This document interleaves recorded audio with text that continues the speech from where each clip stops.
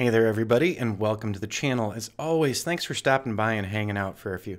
My name is Rich Charpentier. I'm the channel host here, and most often we're talking about drone work. And what you're seeing on screen right now is actually a screen capture, uh, uh, just just a moment in time from a flight that I did this weekend um, for one of my clients.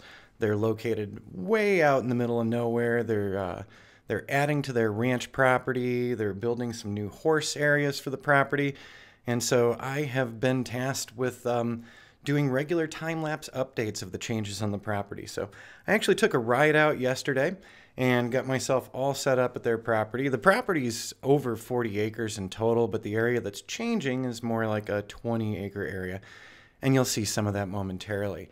So yeah, there's the screen cap of my setup. So I've actually got my iPad Mini 4 set up on a tripod, a um, couple of Pelican cases there, and I've actually got the controller in my hand because I'm just bringing the drone down from one of its flights. So the uh, the big flights that I did yesterday, there are several different flights that I did. Number one was a bunch of still photos flying around the property. We actually picked areas and angles with the property owner a couple weeks ago and so every time we go out, we'll be reshooting those same exact still photos. That layout was created with the Litchi app. So we've got a photo app that orbits the property area where the changes are happening, and those are all saved as JPEGs right now.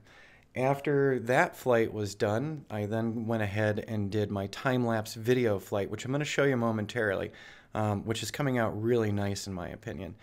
And after we did the video orbits, I actually did a couple of flights to do another orthomosaic 2D model.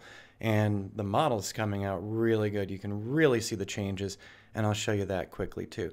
But first off, let's kill the QuickTime player here and let's take a look at their project. So this morning I have been editing the project and we're actually flashing back and forth between the start of the project and February 1st. So without any delay, I'm going to go ahead and hit this.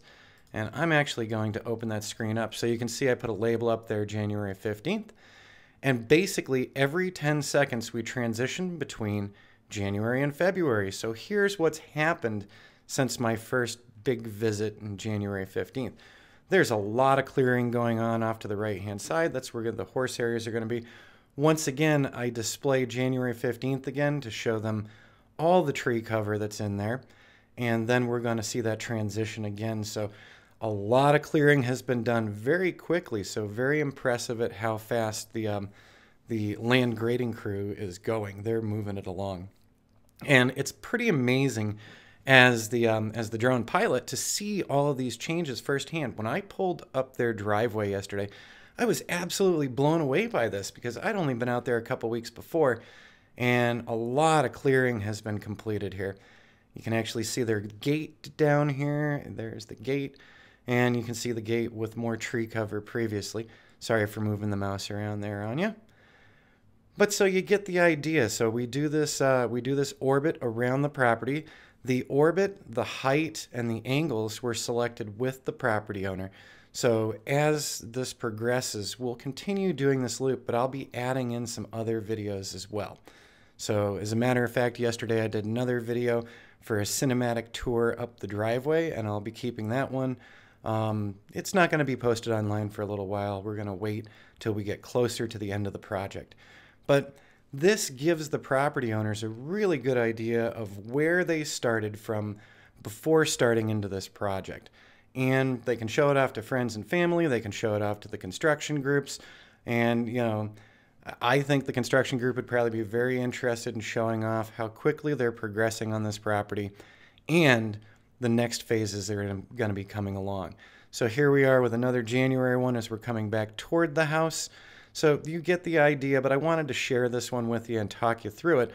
This video flight was pre-programmed using Litchi. So I actually came out to the location weeks ago, created a flight path with the property owner, flew the flight path, and now I'm able to reuse that flight path over and over again and match it up with previous months. So it's going to be really interesting when we get to the end of this project and we do the final filming of the entire property and then compare it to that starting point back on January 15th. It's going to be pretty amazing. Uh, that's my opinion. I'm having fun with this. So um, I wanted to give you, the channel subscribers, an opportunity to see this change, this transition, and it's it is a huge change in a very short amount of time. So I'm looking forward to seeing when the uh, new stables go up and when the different arenas go in. It's going to be very interesting. So I'm going to go ahead and stop that one. So I'm not done with this yet. So I'm still working on this and working on the transitions. I've got a couple more videos to go in as well. But before I hop off of here, I'm just going to go back in another folder and I'm going for my orthos. So here we go. I wanted to share this one with you too. So I've already set up the January and February ortho mosaics that I'll be putting up on a deliverables web page for the client. And they'll get to actually see what it looked like on January 15th from above and what it looks like today. So what I did is on January 15th, I flew a mission with Ground Station Pro and we actually modeled a lot more of the property than what you're seeing here. But I just um, I just cropped this down because I wanted to show them the major areas. So we're going to zoom this up really quick. On the right hand side in Photoshop, I have two layers. I have a February one and I have a January 15th. If I turn off the February, you can see January, and boy, can you see, I'm just going to go in here, just grabbing my tool here. Um, in this area, you can really see what's changed. And let's go ahead and turn that off. So here is the previous uh, imaging uh, in ortho format from January 15th. Uh, by the way, all this stuff on the north side of the trees, that's snow. So I can even zoom it in more here. So looking at the ortho, I can turn on February and you will see what a huge difference. So this is not perfectly aligned yet. I'll get these two layers perfectly aligned before they end up on the website. But then the property owner can really get a good idea. So between the still images we shot for them and the time-lapse video that we shot for them, and finally this ortho showing off the huge changes at the property, um, it gives the uh, property owners a really good bird's eye view, you know, sorry, pun intended, but you get it. it. It's this is really displaying to them what is happening on your property today. How how is the um, construction going? How is the land clearing going?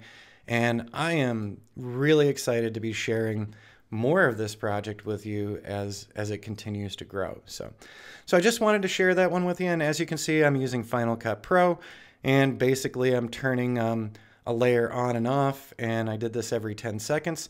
Honestly, all of the little sliders with January and February annoy me a little bit. I'm going to have a conversation with the property owners and see if there's a better way that we can label these things so that they know when we're transitioning from one one date to another. It's obvious in the video the differences, but just marking it out for them so that they know, you know, which one's January, which one's February, which one's March. It looks to me like I'm probably going to be popping out on this job site every two weeks at the speed that they're progressing, which is really exciting. So you'll be getting to see the final version of this uh, on channel as well, so stay tuned. And if you have any questions about setting up flight paths like this with Litchi or Ground Station Pro, let me know in the comments below. Also, up in the info cards in the upper right corner, there are links to my class on using Litchi for business applications like construction progression reports. So if you're interested in learning more about that, check out my class. I've got a link for you. And there's always a discount for subscribers who are part of this channel. All right, I need to get back to work uh, because I've got this client project and I'm actually working on another client project today as well. So I hope you enjoyed this. I hope this gave you some ideas about how you can work with a raw land site to show the changes on that raw land site as it's being developed into what should be a really cool horse ranch here in Arizona. All right, see you on the next video.